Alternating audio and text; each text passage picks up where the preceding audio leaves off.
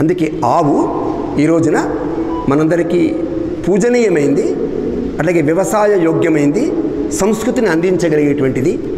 అటువంటి ఆవుని తీసుకుపోతున్నటువంటి రైతు ఆ రైతుతో ఆవు ఏముంటోంది? కొడుకా నన్ను కోతాకమ్మకురా కన్ను మూసేదాకా కష్టపడతా నీ కోసం కొడుకా. నన్ను కోతాకమ్మకురా నేను చిన్నప్పుడు వచ్చిన మీ ఇంటికి. నేను మీ ఇంటికి వచ్చినప్పుడు నాకు పైసలతో కట్నం ఇవ్వలే ఆవుల్ని ఇచ్చేవాళ్ళు గేదెల్ని ఇచ్చేవాళ్ళు. అవ్వతోని అరణమచ్చిన అయ్య కారు ఎడ్లనిచ్చిన. పాలు ఇచ్చి నిన్ను పెంచిన పెద్ద కాపుగా నిన్ను చేసిన. కొందరు అంటారు కదా ఆయన సార్ పెద్ద కాపు సార్? అంటాడు ఎందుకంటే పెద్ద కాపు అంటే ఆవులు ఉంటాయి సార్. అంటే మేము ఉంటేనే కదా మీ పెద్ద కాపు నేను లేకపోతే పెద్ద కాపు ఎక్కడ అవ్వతోని అరణమచ్చిన అయ్యక ఆరు ఎడ్డనిచ్చిన పాలు ఇచ్చి నిన్ను పెంచిన పెద్ద కాపుగా నిన్ను చేసిన. ఇప్పుడు నేను ముసలినైతిని వట్టిపోయిన గేదెనైతిని ముట్టి కాసుల కోసరము నన్ను కొట్టి చంపే వాళ్ళకిస్తవ కొడుకా. నన్ను కోతాకమ్మకురా అల్కబీర్ ఇక్కడే ఉంది మన జిల్లాలో.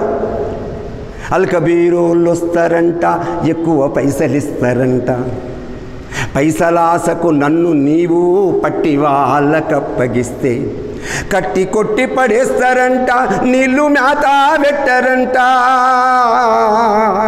నోరు ఎండి కడుపు మండి కదలలేక కన్ను మూస్తా కొడుకా నన్ను కోతాకమ్మకురా ఫ్యాక్టరీలో తీసుకుపోయిన తర్వాత ఏం చేస్తారు నేను తెలుసా? పెయ్యి మీద సలసల కాగేటి నీళ్ళు పోస్తారంట. కింద పడ్డ నన్ను మిషిని మీద యాలాడేస్తారంట. ప్రాణముండగానే తోలు ఒలిసి కూడా తీస్తారంట. సగము గొంతు కోసి రకతము మందులల్ల వస్తారంట కొడుకా నన్ను కోతాకమ్మకురా నేను మీ ఇంట్లో ఉంటే నాకు బిర్యానీ ఇడ్లీ దోశ మనం వండి పెడుతున్నావా? దేవుడిచ్చిన గడ్డి మేసిన ఎండవానల పనులు చేసిన. నేను మీ ఇంటికి ఎందుకు వచ్చినా? వెనక జనమల కింది బాకీ ఇచ్చిపోని ఇంటికి వచ్చిన